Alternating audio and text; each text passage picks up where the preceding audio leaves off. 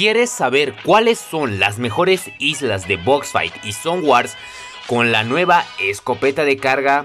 Pues sí amigos, el día de hoy les voy a enseñar cuáles son las mejores islas personalmente para mí con la nueva escopeta de carga. Ya que la escopeta de carga a muchos de nosotros sinceramente nos ha traído un dolor de cabeza. ¿Por qué? Porque es un poco difícil de dominar, por así decirlo, la nueva escopeta de carga. Así que también por esa razón les traje unas islas para que ustedes puedan jugar con la nueva escopeta de carga.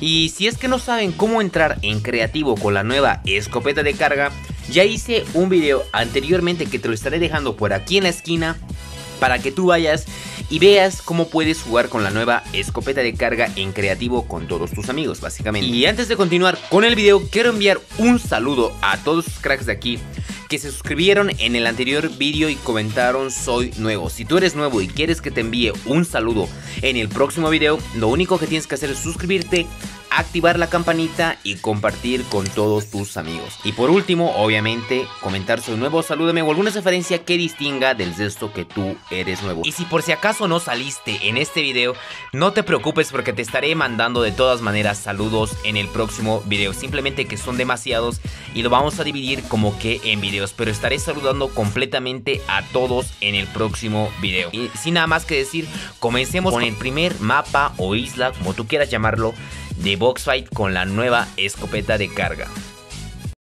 Como les dije, esta primera isla es de Boxfight para que te eches unas buenas horas de Boxfight con tus amigos. Primero que nada, les voy a dejar el código en pantalla y bueno, ese es el código, ahora toca decir las ventajas y desventajas de esta isla en específico. La ventaja de esta isla es que literal tienes la escopeta de carga para poder practicar con tus amigos. Pero la desventaja sería que en cada ronda que termine tienes que escoger nuevamente tu loot y buscar la escopeta de carga nuevamente.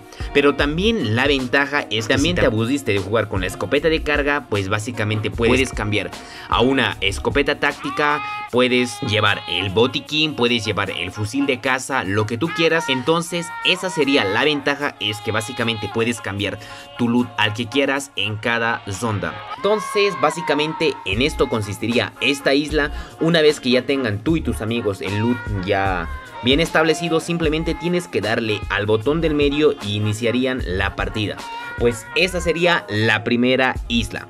Vamos por la segunda isla que personalmente creo que es la mejor isla. En esta segunda isla de Boxfight y Zone Wars, pues básicamente tienes que buscar la escopeta de carga en una partida y en la siguiente pues básicamente vas a tener la escopeta de carga ya predeterminada. La ventaja es que simplemente tienes que escoger una escopeta, la que más te guste. Por ejemplo, en nuestro caso queremos practicar con la escopeta de carga.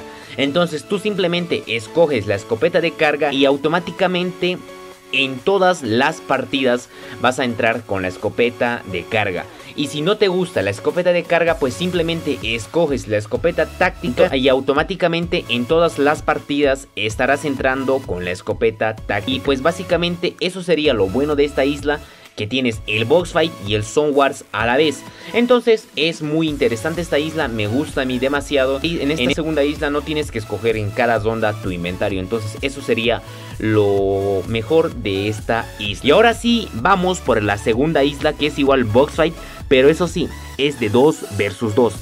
Esta segunda isla pues es bastante interesante de igual manera ya que esta segunda isla puedes echarte unos 2 versus 2, pero como te dije en todas las islas te voy a decir las ventajas y desventajas. Primero que nada, ni bien entras a la isla, tienen que cambiarse de equipo antes de darle a iniciar. Porque si no te cambias de equipo no van a poder hacerse daño ninguno. Entonces eso sería lo malo de esta isla. Por ejemplo, si quieren echarse un 2 versus 2, pues los dos amigos tienen que estar automáticamente en el equipo 2 y el equipo enemigo tiene que estar en el equipo 3, 4, en el que tú quieras, pero tiene que estar en un equipo distinto. Y pues básicamente sería eso. Una vez que ya tengan seleccionado los equipos, pues se van al equipo rojo o al equipo azul el equipo, el mismo equipo que formaron tienen que entrar en un mismo color de los cuadros que estarán viendo en pantalla y dices rojo y azul. Entonces básicamente sería eso. Pero lo bueno de este mapa es que los ganadores ya no tienen que buscar su loot en cada partida. Pero lo malo sería que los que van a perder van a tener que estar buscando nuevamente la escopeta de carga, van a estar buscando, buscando minis, splash o lo que tú quieras llevar, pero tienes que estar buscando constantemente el que pierda. Y pues bueno amigos, eso sería el vídeo de hoy, espero que les haya gustado. sé que estuve un poco perdido en lo que sería YouTube, pero bueno, espero que les guste este video. Y sin nada más que decir, yo me despido, hasta la próxima, adiós.